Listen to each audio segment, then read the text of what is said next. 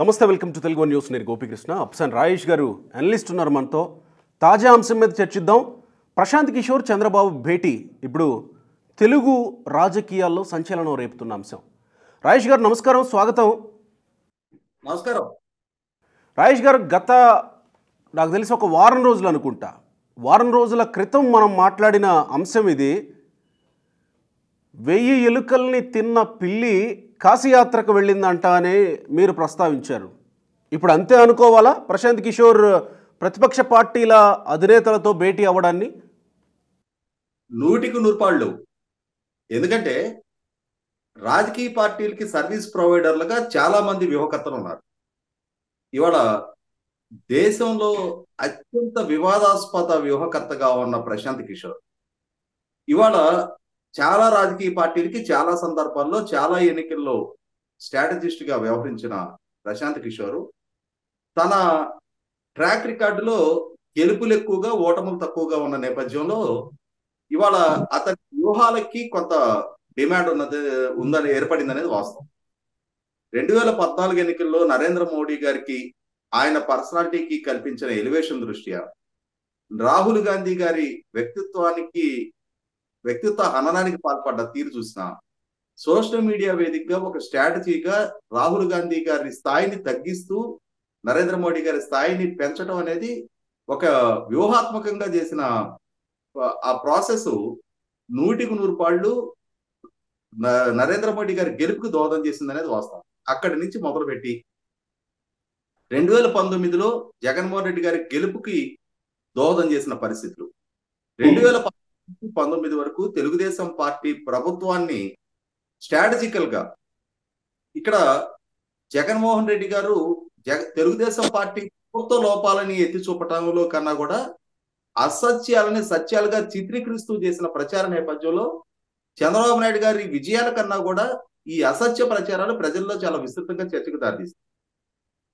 ఆ రోజు చంద్రబాబు నాయుడు గారు ఆయన కేబినెట్ వాళ్ళ నిర్ణయాలు ఆ వాళ్ళు ప్రవేశపెట్టిన పథకాలు అవి సంక్షేమ పథకాల లబ్ధిదారులకి చేరిన తీరు ఆ పాలనా తీరు ఇవేవి ప్రజల్లో చర్చనీయాంశం కాల. ఆ రోజు చంద్రబాబు నాయుడు గారు చేసిన అభివృద్ధి ప్రణాళికలు అనేవి కూడా ప్రజల్లో చర్చనీయాంశం కాల. ఆ రోజు ప్రజల్లో చాలా విస్తృతంగా జరిగిన చర్చ ఏంటి అంటే చంద్రబాబు నాయుడు గారు అమరావతి పేరిట నిర్మాణం చేస్తున్న రాజధాని అది ఆయన సామాజిక వర్గ ప్రయోజనాల కోసం నిర్మాణం చేస్తున్నది. ఆయన పోలవరం నిర్మాణం చేస్తున్నది ఆయనకు ఆర్థిక ప్రయోజనాలు తెప్పించుకోవడానికి ఆయన సవరించిన అంచనాల ద్వారా ఆయనకు ఆర్థిక ప్రయోజనాలు చేపడతా ఉన్నాయి. అది పట్టిసీమ కాదు అది వట్టిసీమ దాంట్లో కమిషన్ అనుకుంటా ఉన్నారు. ఆయన సీఏని డిఎస్పీలుగా ప్రమోట్ చేసేది ఆయన కులయిస్తులకి పదవులు కల్పించుకోవడానికే. ఇట్లా ప్రతి అంశాన్ని చంద్రబాబు నాయుడు గారి వ్యక్తిత్వ హన్నానికి చంద్రబాబు నాయుడు గారిని ఒక కులానికి పరిమితం చేయడానికి చాలా స్ట్రాటజికల్గా చేసిన ప్రచారం ప్రజల్లో తెలుగుదేశం పార్టీ పట్ల ఒక న్యూనతా భావాన్ని పెంచడంలో జగన్మోహన్ రెడ్డి గారి వ్యక్తిత్వానికి ఎలివేషన్ ఇవ్వడంలో ఆయన ఒక పోరాటం చిత్రీకరించడంలో కేంద్ర ప్రభుత్వానికి వ్యతిరేకంగా పోరాడగలిగే ధీరుడిగా ఆయన్ని చిత్రీకరించడంలో సఫలీకృతమైన ప్రశాంత్ కిషోర్ గారి వ్యూహాల పర్యవసానం నూటికి నూరు జగన్మోహన్ రెడ్డి గారికి లబ్ధి చేకూర్చింది. తెలుగుదేశం పార్టీ ఓటమికి దారితీసింది అనేది వాస్తవం. సమాజం కులాల పేరిట విచ్ఛిన్నం జరిగింది. ప్రాంతాల అసమానతల మధ్య అసమానత భావాల మధ్య మనోభావాల పేరిట ప్రాంతీయ విద్వేషాలు పెరిగినాయి. అంతిమంగా జగన్మోహన్ రెడ్డి గారి ప్రభుత్వం అధికారంలోకి వచ్చింది. ఇవాళ నాలుగున్నర సంవత్సరాలు వెనక్కి తిరిగి చూసుకుంటే సర్వీస్ ప్రొవైడర్గా ఏ ప్రశాంత్ కిషోర్ అయితే జగన్మోహన్ రెడ్డి గారికి పనిచేస్తున్నాడో అదే ప్రశాంత్ కిషోర్ రీసెంట్గా ఢిల్లీ స్థాయిలో జరిగిన ఒక చర్చా గోష్ఠిలో జగన్మోహన్ రెడ్డి గారి ప్రభుత్వాన్ని ప్రభుత్వ విధానాలని ఆయన చేస్తున్న అప్పుల్ని ఆయన సంక్షేమ పథకాల పేరిట పంపిణీ చేస్తున్న తీరుని అప్పులు తీసుకొచ్చి డబ్బులు పంపిణీ చేయడాన్ని విమర్శ చేసిన తీరు చూసాం మనం. ఇవాళ మీరు అధికారంలోకి తీసుకొచ్చి కూర్చోబెట్టిన వ్యక్తిని ఈ రోజు మీరు విమర్శ చేసిన మాత్రాన ఇవాళ ఐదు కోట్ల మంది ప్రజలకు చేసిన నష్టం వెనక రాదు కదా మనకి ఒక సందర్భంలో ప్రస్తావించుతారు. ఆయన ఏం చెప్తారు అని అంటే ఆ రోజుల్లో అరసం విరసం అని చెప్పని అభ్యుదయ రచయితల సంఘం విప్లవ రచయితల సంఘం పేరిట ఆంధ్రప్రదేశ్ కాదు తెలుగు రచయితలలో మధ్య రెండు వర్గాలుగా విడిపోయారు. ఆ విడిపోయిన నేపథ్యంలో విప్లవ రచయితల సంఘానికి ప్రాతినిధ్యం వహిస్తున్న శ్రీశ్రీ గారు వారి సమావేశంలో ఒక రోజున ఇవాళ ఎదగాలి అనుకునే ఏ కవి అయినా సరే అన్నమయ్యని తిక్కన్ని పోతన్న కూడా చదవాలి అని చెప్పని వారు ప్రస్తావిస్తారు. కవులు అడిగారు మనం విప్లవ సంఘం కదా మనది మనం సనాతన రచయితలైన నన్నయ్యని తిక్కని ఎందుకు చదవాలి అని చెప్పని అడిగినప్పుడు ఆయన చెప్పింది ఏంటి అంటే ఏం చదవాలో ఏం రాయాలో తెలియడం కన్నా కూడా ఏది రాయకూడదో తెలుసుకోవడానికి నన్నయ్య గారు లాంటి వాళ్ళ రచనలు తెలుసుకోవాలి. వారు ఒక స్థాయిని మెయింటైన్ చేశారు.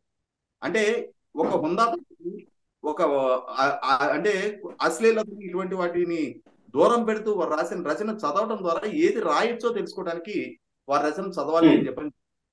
అలాగే ఇవాళ రాజకీయాల్లో కూడా జోజీత వహీ సికింద్ర అనే లక్ష్యంతో వాళ్ళ వ్యూహకర్తలు పనిచేస్తున్నారు. రాజకీయ పార్టీలు కూడా అదే లక్ష్యంతో పనిచేస్తున్నాయి.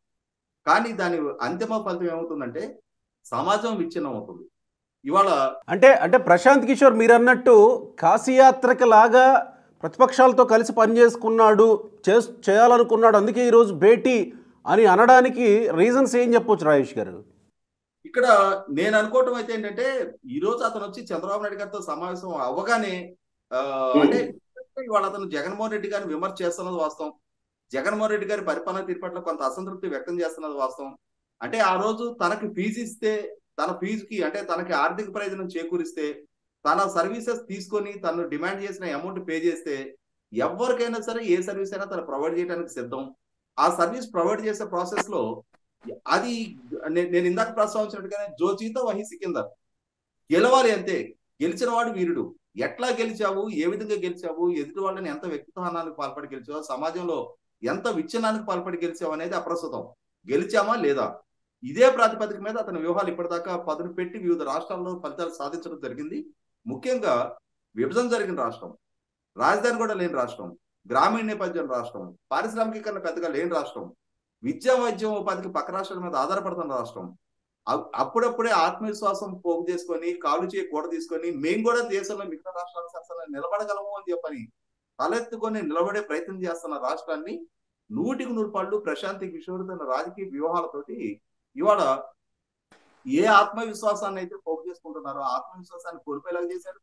ఇవాళ దేశంలోకెల్లా అప్పులు పాలవుతున్న రాష్ట్రాలు సరసన చేర్చాడు శాంతి భద్రతలు క్షీణిస్తా ఉన్నాయి. రైతు ఆత్మహత్యల్లో దేశంలో మూడో స్థానంలో మిగిలిపోయింది. కౌలు రైతుల ఆత్మహత్యలో రెండో స్థానంలో మిగిలిపోయింది. మహిళల గౌరవానికి భంగం కలుగుతున్న కేసులో దేశంలో మొదటి స్థానంలో నిలబడిపోయింది. ఇట్లా చూసుకుంటే ప్రమాణాలు మెరుగుపడాల్సిన దగ్గర నుంచి వాళ్ళ తిరోగమనంలో పడిపోయిన పరిస్థితులకి ఒక వ్యూహకర్తగా నూటికి నూరు పళ్ళు ప్రశాంత్ కిషోర్ కూడా జవాబుదారే. అటువంటి ప్రశాంత్ కిషోర్ ఈ రోజు రిలీజ్ అయిన మాత్రాన ఎన్నికలు సమీపిస్తున్న ఇంకొక రెండు మూడు నెలల ముందు ఇవాళ ప్రతిపక్ష పార్టీలకి సర్వీస్ ప్రొవైడర్గా రావడానికి సిద్ధం వ్యక్తం చేసిన మాత్రాన అతని వల్ల జరిగిన నష్టం వెనకైతే రాదు. నేను అదే అంటున్నా నేను అదే అంటున్నా రాజేష్ గారు. ఇక్కడ కోడికత్తి కేసు విషయంలో కానీ వివేకానంద రెడ్డి మర్డర్ విషయంలో కానీ లేకపోతే డిఎస్పీలోగా ప్రమోషన్లు చేసిన విషయంలో కానీ లేకపోతే రాజధాని అమరావతి మీద ఒక కులానికి అంటగట్టి చేసిన విషయంలో మాది ఇవన్నీ ప్రశాంత్ కిషోర్ వ్యూహాలు అయినప్పుడు ఇంత క్రూరంగా ప్రశాంత్ కిషోర్ వ్యూహాలు ఉంటే అతను ప్రాయశ్చిత్తం పొందడానికి అర్హుడేనా? ఒకవేళ ప్రాయశ్చిత్తం పొందిన ప్రాయశ్చిత్తం పొందిన మిగతా ప ప్రత్యామ్నాయ పార్టీలకి ఈ ప్రతిపక్ష పార్టీలకి ప్రశాంత్ కిషోర్ అవసరం ఉంటుందా నూటికి నూరు పాళ్ళు ప్రశాంత్ కిషోర్ లాంటి వ్యక్తులు వాళ్ళ యువకర్తల సంస్థలు ఒక సోషల్ ఈవిల్ లాంటి వాళ్ళు ఇవాళ. ఇవాళ రాజకీయాల్లో అటువంటి వాళ్ళ సర్వీసెస్ తీసుకోవాల్సిన అవసరమూ లేదు అది ముఖ్యంగా నలభై ఒక్క సంవత్సరాల ప్రస్థానం పూర్తయి నలభై రెండో సంవత్సరంలో అడుగుపెట్టిన తెలుగుదేశం పార్టీ. నలభై ఐదు సంవత్సరాల సుదీర్ఘ రాజకీయ అనుభవం అనుభవము నేపథ్యం ఉన్న చంద్రబాబు నాయుడు లాంటి నాయకుడు అన్నిటికన్నా ముఖ్యంగా ఇవాళ ప్రజలు సుదీర్ఘకాలంగా తెలుగుదేశం పార్టీకి లాయల్గా ఉన్న తీరు. రెండు వేల పంతొమ్మిది ఎన్నికల్లో తెలుగుదేశం పార్టీ ఓడితే ఓడుండొచ్చు. ఇవాళ చంద్రబాబు నాయుడు గారి మీద వరుస పెట్టి ప్రభుత్వం కేసులు నమోదు చేసిన ఈ రోజుకి కూడా తెలుగుదేశం పార్టీ నుంచి కనీసం ఒక పది మంది కార్యకర్తల్ని సెప్టెంబర్ తొమ్మిది నుంచి ఈ రోజు దాకా అధికార పార్టీ వైపు ఆకర్షించుకోలేకపోయింది ప్రభుత్వం. అదే సందర్భంలో అధికార పార్టీ నుంచి తెలుగుదేశం పార్టీలోకి చాలా మంది నాయకులు కార్యకర్తలు జాయిన్ అవుతా ఉన్నారు. ప్రజలు ఇవాళ తెలుగుదేశం పార్టీతో ఇంటాక్ట్గా ఉంటున్నారు. తెలుగుదేశం పార్టీ నాయకుడిగా ఉన్న చంద్రబాబు నాయుడు గారి నాయకత్వాన్ని కాంక్షిస్తా ఉన్నారు. ఇదే సందర్భంలో మరొక ప్రతిపక్ష పార్టీగా ఉన్న జనసేన పార్టీ కూడా ప్రభుత్వ వ్యతిరేక ఓటు చీలకుండా ఉండాలి అనే లక్ష్యంతో తెలుగుదేశం పార్టీ తోటి సైల్ అవడానికి సిద్ధపడి ఆల్రెడీ ప్రకటించి సమన్వయ కమిటీ సమావేశాలు ఏర్పాటు చేసుకొని ఉమ్మడి బహిరంగ సభలో ఉమ్మడి మేనిఫెస్టో తీసుకు అడుగులేస్తున్నారు. ఇటువంటి సందర్భంలో ప్రశాంత్ కిషోర్ లాంటి వ్యూహకర్తల అవసరం తెలుగుదేశం పార్టీకి లేదు. ముఖ్యంగా ఇప్పుడున్న పరిస్థితిలో ప్రశాంత్ కిషోర్ సర్వీసెస్ తీసుకుంటేనే నెగ్గాల్సిన పరిస్థితిలో తెలుగుదేశం జనసేన కూటమి కూడా లేదు. కాబట్టి ఇక్కడ ఒక చిన్న ప్రశ్న. ఇక్కడ ఒక చిన్న ప్రశ్న రాజేష్ గారు. తెలుగుదేశం పార్టీకి జనసేన పార్టీ అలయన్స్కి ప్రశాంత్ కిషోర్ అవసరం ఉండి ప్రశాంత్ కిషోర్ వచ్చి వీళ్ళతో కలిసి పనిచేయడానికి సిద్ధపడుతున్నాడు అనుకోవాలా మీరన్నట్టు కాశీయాత్రకు వెళ్ళినప్పుడో లేకపోతే రియలైజ్ అయితే ప్రాయశ్చిత్తం కోసం అనుకుంటే తనే నేను మీతో కలిసి పనిచేయడానికి సిద్ధం అనే ఉన్న తానే ఉన్న ప్రపోజల్ ముందుకు తీసుకొచ్చి పనిచేయడానికి సిద్ధం అన్నట్టు వస్తున్నాడు అనుకోవాలా ఇక్కడ నేను ఇందాక శ్రీశ్రీ గారి అంశం ఏదైతే ప్రస్తావించానో అంటే ఏది రాయాలో కాదు ఏది రాయకూడదో తెలుసుకోవడానికి నాన్నయ్య గారు సాహిత్యం చదవాలి అని చెప్పని శ్రీశ్రీ గారు చెప్పారు అని చెప్పని అదే విధంగా ఇవాళ ప్రశాంత్ కిషోర్ సర్వీసెస్ మనకు అవసరం లేకున్నా పర్వాలా కానీ ప్రశాంత్ కిషోర్ సర్వీసెస్ ఎంత విధ్వంసకరంగా ఉంటున్నాయి అనేది ఇవాళ ఆల్రెడీ రాష్ట్రం రాజకీయ పక్షాలు రుచి చూస్తున్నాయి కాబట్టి కనీసం ప్రత్యర్థిగా ఉన్న అంటే ఇప్పుడు ప్రతిపక్ష కూటమిగా ఉన్న రాజకీయ పక్షాలకు ప్రత్యర్థిగా ఉన్న అధికార పార్టీ కూటమి నుంచి అతను దూరం జరుగుతున్నాడు కాబట్టి అతని సర్వీసెస్ న్యూట్రలైజ్ చేయడం కోసం అతనితో మాట్లాడితే మాట్లాడాలి తప్ప జగన్మోహన్ రెడ్డి గారికి తోటి ఇంటాక్ట్గా ఉండటానికి అతను సిద్ధపడట్లేదు కాబట్టి అతను వచ్చి కలవడానికి సిద్ధపడుతున్నాడు కాబట్టి అతనితో మాట్లాడటం వరకు కన్ఫైన్ అయితే పర్లేదు కానీ అతని సర్వీసెస్ తీసుకొని అతని విధ్వంసకర వ్యూహాల ప్రభావంతో తెలుగుదేశం పార్టీ ఏ స్థాయి ఏ రోజు ప్రయాణం చేయదు. ఇక్కడ అధికారమే లక్ష్యం అని చెప్పని తెలుగుదేశం కానీ పవన్ కళ్యాణ్ కానీ కోరుకోవట్లా నూటికి నూరు పాటలు అధికార గమ్యం తీసుకొని ఏ రాజకీయ పక్షాన్ని అడుగులేస్తుంది? అందులో కాదన్నాం. కానీ ఎట్లయినా గెలవాలి ఏ విధ్వంసకర పనులు చేసినా గెలవాలి ఏ వ్యక్తితో అన్నాలకైనా పాల్పడి గెలవాలి అనే నైజం ఈ రెండు పార్టీల మధ్యలో ఈ రెండు పార్టీల వైఖరి అటువంటి దాన్ని సపోర్ట్ చేసే దిశగా ఈ నాయకత్వాలు ఆలోచించు. అటువంటి సందర్భంలో ప్రశాంత్ కిషోర్ ఒక ఆరోగ్యకర రాజకీయం దిశగా అతను అడుగులేసే పక్షంలో అతను సర్వీసెస్ తీసుకున్నా పర్వాలేదు. కానీ కాదు పాత స్ట్రాటజీస్ ప్రకారమే ఏ విధంగా అయితే ప్రత్యర్థి పార్టీల వ్యక్తిత్వ హన్నాలకు పాల్పడతా సమాజంలో విద్వేషాలు పెంచుతా దాని ద్వారా ఓట్ల పోలరైజేషన్కి ఎమోషన్స్ ఫ్లేరప్ చేయడం ద్వారా ఓట్ల పోలరైజేషన్కి అతను ఇప్పటి వరకు అనుసరిస్తా వచ్చిన వ్యూహాలు అదే విధంగా అనుసరించడానికి సిద్ధపడే పక్షంలో అతని స్థాయి వ్యక్తితోటి కనీసం ఒక పది నిమిషాల సమయం గడపాల్సిన అవసరం కూడా తెలుగుదేశం నాయకత్వానికి కానీ జనసేన నాయకత్వానికి కానీ లేదు. అదే ఇప్పుడు వైసీపీ వైసీపీ నుంచి వస్తున్నది అదే. నూట అరవై సీట్లు మేము గెలుస్తామని అనర్గళంగా లేకపోతే బహిరంగ సభల మీద బల్లగుద్ది చెబుతున్న టీడీపీ జనసేన అలయన్స్ ఇప్పుడు ప్రశాంత్ కిషోర్ అవసరం ఏమొచ్చింది వాళ్ళకి అని వైసీపీ నుంచి కూడా ఒక ప్రశ్న వస్తుంది. ఇక్కడ ఒకటి ఇవాళ ఎవరికి వాళ్ళు సెల్ఫ్ అసెస్మెంట్ అవసరం? ఇవాళ అధికార వైసీపీ పార్టీకి అసలు తెలుగుదేశం పార్టీనో జనసేన పార్టీనో ప్రశ్నించే నైతికత ఉందా? Why not one seventy five అని చెప్పని ప్రశ్నిస్తున్న జగన్మోహన్ రెడ్డి గారు ఇవాళ అధికార సమావేశాల్లో కూడా ఐపాక్ సభ్యుల్ని కూర్చోపెట్టి అధికార అంటే ఇవాళ ఏ ఎమ్మెల్యే ఏ రోడ్డుకి అనుమతి ఇవ్వాలనేది కూడా వాళ్ళే నిర్దేశించే స్థాయిలో ఇవాళ ఐపాక్ సభ్యుల సర్వీసెస్ తీసుకుంటున్న జగన్మోహన్ రెడ్డి గారి ప్రభుత్వము పార్టీ. ఇవాళ తెలుగుదేశం పార్టీను జనసేన పార్టీను మీరెందుకు వ్యూహకర్తల సపోర్ట్ తీసుకుంటున్నారని చెప్పని వీళ్ళని ప్రశ్నించే నైతికత ఎప్పుడో కోల్పోయింది. కాబట్టి వాళ్ళ వాళ్ళకి సంజయ్ శ్రీవాస్ అవసరం లేదు. మొట్టమొదటిగా వీళ్ళకి సెల్ఫ్ కాన్ఫిడెన్స్ అవసరం. ఇవాళ ప్రజలు తెలుగుదేశం పార్టీ నాయకత్వం వెనక జనసేన నాయకత్వం వెనక వీరిద్దరి కలయికను ఆమోదించి వారిద్దరి గెలుపుకి దోహదం చేయడానికి ప్రజలు సిద్ధంగా ఉన్నారు. ఇది మనకి రెండు రెండు మహానాడు నుంచే మహానాడుకి ప్రభుత్వం ఆటంకాలు కల్పించిన ప్రతిబంధకాలు కల్పించే ప్రయత్నం చేసిన బస్సులు కేటాయింపు కూడా నిరాకరించినా కూడా ప్రజలు స్వచ్ఛందంగా ఎట్లా తరలొచ్చారో చూసాం మనం. ఆ మహానాడు నుంచి నిన్న వైజాగ్లో జరిగిన యువగళం నవశకం సభ వరకు కూడా ప్రభుత్వం వైపు నుంచి ఎన్ని ప్రతిబంధకాలు సృష్టించే ప్రయత్నం చేసినా ప్రజలు తమ స్పందన తెలియజేస్తున్నారు. ఇక్కడ ఇంకొకటి. ఇంకొకటి రాజేష్ గారు ఇక్కడ లోకేష్ చంద్రబాబు నాయుడు అరెస్ట్ అయిన తర్వాత అన్ని రోజుల పాటు ఢిల్లీలో గడపడం తర్వాత పాదయాత్ర త్వరగా ముగించడం కూడా ప్రశాంత్ కిషోర్తో జరుగుతున్నటువంటి మంతనాలే కారణం అని కూడా ఇంకొక ప్రచారం ఉంది. ఇజ్ ఇట్ ట్రూ ఇక్కడ ఒకటి వాస్తవం. ఇప్పుడు లోకేష్ ఢిల్లీలో ఎందుకు మకాన్ చేశారు అనే దానికి నిదర్శనంగా ఇవాళ ఎక్కడో యూకేలో ఉంటున్న హరీష్ సాల్వే గారు లాంటి లాయరు ఇవాళ చంద్రబాబు నాయుడు గారు ఒకళ్ళతో తీసుకొని ముందుకొచ్చి అంటే ప్రభుత్వం తరపున ముకుల్ రోహత్కి అంతటి ఫార్మర్ అటార్నీ జనరల్ స్థాయి నాయకుడు స్థాయి అడ్వకేట్ ముందుకొచ్చి ప్రభుత్వం తరపున ఒకళ్ళతో తీసుకున్న నేపథ్యంలో అంత కట్టుదిట్టంగా అంతటి స్థాయిలో వాద ప్రతివాదనలు జరిగాయి అని అంటే అక్కడ సిద్ధార్థ లూత్రా గారైనా సిద్ధార్థ్ అగర్వాల్ గారైనా అభిషేక్ మను సింఘ్వి గారైనా హరీష్ సాల్వే గారు లాంటి ఉద్దండులు చంద్రబాబు నాయుడు గారి తరపున కూడా ఒక తీసుకున్న అనేది మనం చూసాం. కాబట్టి తన తండ్రి కేసు కేసులు పాలయ్యి అరెస్ట్ అయ్యి జైల్లో ఉన్న సందర్భంగా జాతీయ ప్రధాన కార్యదర్శిగా నారా లోకేష్ ప్రయారిటీస్ ఏంటనేది మనకు తెలుసు. కాబట్టి ఇక్కడ ఇవాళ ఎన్నికల కోడ్ సమీపిస్తా ఉంది.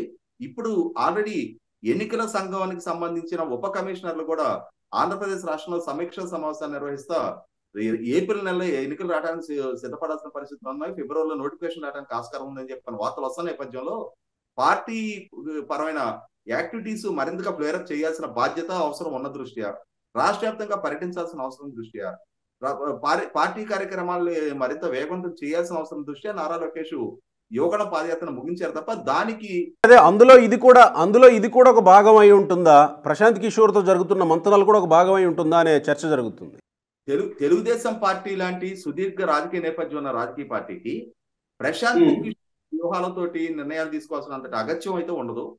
కాకపోతే ఏంటంటే జగన్మోహన్ రెడ్డి గారికి అతని సర్వీసెస్ అందకుండా న్యూట్రలైజ్ చేసే స్థాయి వరకు ఆలోచన చేస్తే చేసి ఉండొచ్చేమో కానీ ఇవాళ కేంద్రంలో అధికారంలో ఉన్న భారతీయ జనతా పార్టీతో గురించి కూడా సాఫ్ట్ కార్నర్ ప్రదర్శిస్తున్నారు అంటే అదే కారణం. అంటే రెండు వేల పంతొమ్మిది ఎన్నికల్లో జగన్మోహన్ రెడ్డి గారికి వ్యవస్థల పరంగా అధికార పరంగా కేంద్ర ప్రభుత్వం సహకారం అందించింది. ఈ ఎన్నికలు అటువంటి సహకారం అంటే భారతీయ జనతా పార్టీ వల్ల ఓటు ట్రాన్స్ఫర్ జరగాల్సింది ఆంధ్రప్రదేశ్ రాష్ట్రంలో. ఓట్ల పరంగా తెలుగుదేశం పార్టీకో జనసేన పార్టీకి లబ్ధి చేకూర్చే అవకాశం లేకపోయినా కూడా కనీసం జగన్మోహన్ రెడ్డి గారికి మద్దతు తెలపకుండా ఉండటం కోసం అని చెప్పనే ఇవాళ కేంద్ర అధికారంలో ఉన్న భారతీయ జనతా పార్టీ తోటి కొంత సాఫ్ట్ కార్నర్ ప్రదర్శిస్తున్నారు అనేది మనకు తెలిసిన వాస్తవం. అదే వైఖరి వాళ్ళ ప్రశాంత్ కిషోర్ అంశంలో కూడా జగన్మోహన్ రెడ్డి గారికి మద్దతు తెలపకుండా ఉంటే చాలు అని చెప్పనే దిశగానే అతను అతను సమావేశం అవుతాను మీతో మాట్లాడతానని చెప్పని అతని వైపు నుంచి ప్రతిపాదనలు వస్తే అతని మాటలేంటి అతని ప్రపోజల్ ఏంటో విందామనే ఉద్దేశంతో సమావేశం అవుతారేమో తప్ప అతని మీద డిపెండ్ అయ్యి అతని సలహాల ప్రకారం అడుగులు వేయాల్సినంతటి పరిస్థితిలో తెలుగుదేశం పార్టీ నాయకత్వం ఏ స్టేజ్లో కూడా అతని మీద డిపెండ్ రైట్ ఈ ఈ పరిస్థితులకి ఈ పరిస్థితులకి చంద్రబాబు నాయుడు అయినా పవన్ కళ్యాణ్ అయినా వాళ్ళు ఉమ్మడి కార్యాచరణ దిశగా వెళుతున్న నేపథ్యంలో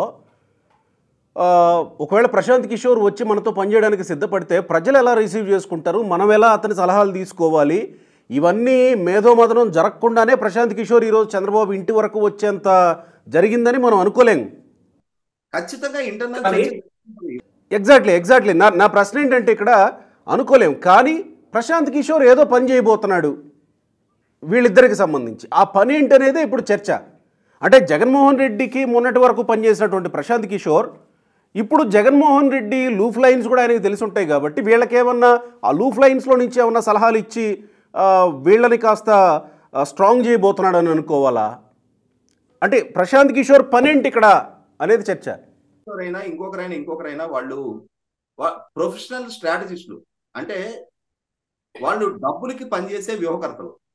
వాళ్ళకి ఎమోషన్స్ ఉంటాయి. వాళ్ళు ఏదో గతంలో జగన్మోహన్ రెడ్డి గారికి పనిచేశాం కాబట్టి ఇప్పుడు చంద్రబాబు నాయుడు గారికి పనిచేయడం ఎట్లా అని చెప్పని ఎమోషనల్గా ఆలోచిస్తారని చెప్పని నేను అనుకుంటున్నా. వాళ్ళు పక్క ప్యూర్లీ కమర్షియల్ ప్రొఫెషనల్ స్ట్రాటజిస్టులు అంతే. వాళ్ళు గతంలో జగన్మోహన్ రెడ్డి గారికి పనిచేశారు కాకపోతే ఇందాక మనం గత చర్చలో ప్రస్తావించినట్టుగా ఇప్పుడు కూడా ప్రస్తావించుకుంటున్నట్టుగా ఎక్కడైనా సరే ఏదో ఒక కోణంలో ఒక మారుమూల గుండెల్లో చిన్నదైనా సరే మానవత్వ కోణం అనేది ఒకటి ఉండి అరే మనం గతంలో ఇచ్చిన సర్వీసెస్ కారణంగా వాళ్ళ ఐదు కోట్ల మంది ఆంధ్రప్రదేశ్ ప్రజల భవిష్యత్తు వాళ్ళ పణంగా పెట్టబడుతుంది. కనీసం దీన్ని చక్కదిద్దుకునే చర్యలు మన వైపు నుంచి ప్రయత్నం చేద్దామనే కొద్దిపాటి పశ్చాత్తాపం ఏదైనా ప్రశాంత్ కిషోర్లో కలిగిందేమో తెలియదు నేను అదే గతంలో. ప్రస్తావించాను వెయ్యి ఎలుకలు తిన్న వెళ్ళింది అనేది నేను ప్రస్తావించిన కారణం కూడా అదే. ఇవాళ ఎట్లయిపోయిందంటే మనకి ఇంకొక సామెత ఉంది. మొగుడు కొట్టినందుకు కాదు తోడుకోవడం చూసి నవ్వినందుకు అని చెప్పని.